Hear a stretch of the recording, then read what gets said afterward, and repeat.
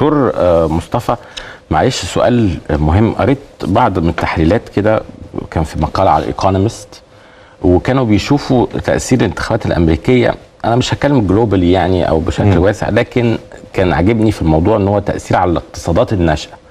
فمن التحليلات يعني بيقولوا انه ترامب أفضل للعالم بالذات الاقتصادات الناشئة والح... وعن الاتجاه الديمقراطي آه، شوية. إلى أي مدى الكلام ده آه، منضبط؟ بما أننا كمان آه، يعني ترامب بيمثل حالة اقتصادية كمان آه، مختلفة.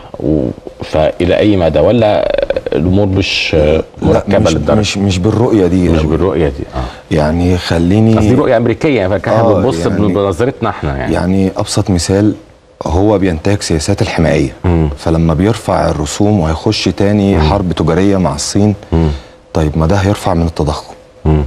وعنده البنك الفيدرالي بيحاول إن هو يسيطر على التضخم. هو آه انخفض بس انخفاض حذر. مم. ممكن جماح التضخم ينطلق تاني وهيضطر إن هو يرفع أسعار الفايدة. لو رفع أسعار الفايدة إيه اللي هيحصل عندنا؟ مم.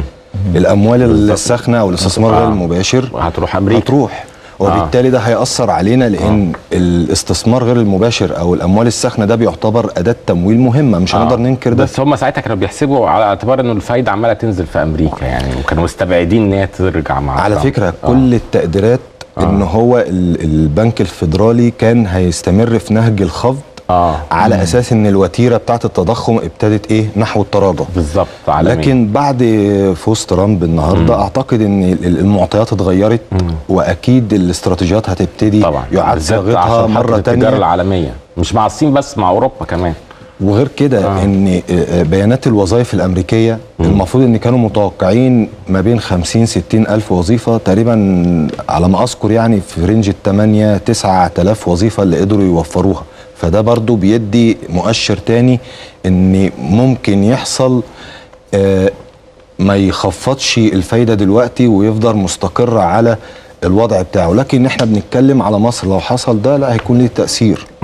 تأثير لو في حال رفع الفايدة في الفدرالي الأمريكي طبعا هيأثر علينا في الأموال آه، السخنه شوية.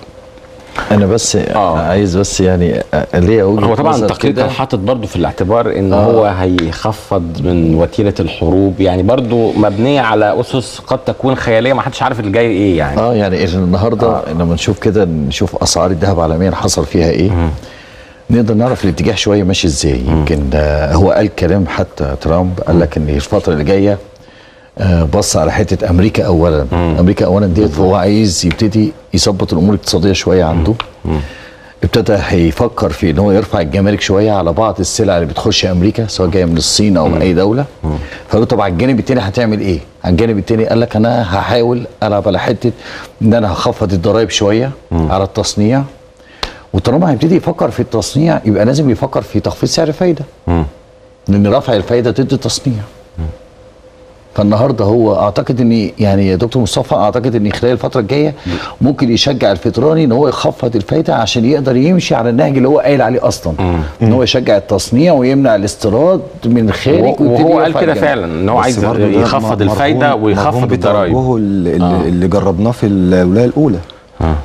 ما هو ده برضه مرهون. ممكن يكون معدل من فلسفته في ال- آه، ما هو ده هيبان بقى. الفترة الجاية. ما هو الولاية الأولى كانت من سنين ما كانش لسه الفايدة مرتفعه كده زي دلوقتي. ما كانش لسه في حرب روسيا وأوكرانيا ما كان الوضع في- الجيوسياسي. كله آه، بيتغير وما كانش هو فيه داخل على شوية آه، حاجات وما كده كانش فيه كورونا. جيوسياسية. ما كانش فيه كورونا وسلاسل الامداد هم لحق آخرها كده يعني خدوا بوسه في الآخر لكن طبعا آه، ال- ال- العبء الابقى كان على الديمقراطيين وبايدن وهو واضح إنه الأمريكيين عاقبوهم عقاب عسير يعني.